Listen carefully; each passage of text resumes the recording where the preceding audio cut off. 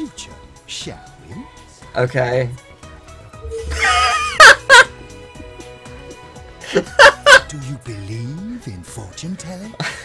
Well, a giant fucking moth just appeared, so I, I, he looks so happy. Each reading is done with the same cards, yet the result is always different. Bring me crystals!